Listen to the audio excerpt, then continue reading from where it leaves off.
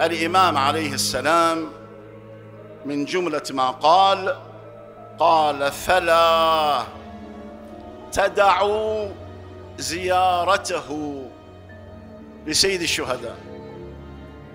يمد الله في أعماركم ويزيد في أرزاقكم وإذا تركتم زيارته نقص الله من أعماركم وأرزاقكم. فتنافسوا في زيارته ولا تدعوا ذلك. لاحظ التعليل. فإن الحسين عليه السلام شاهد لكم في ذلك عند الله وعند رسوله وعند فاطمة وعند أمير المؤمنين.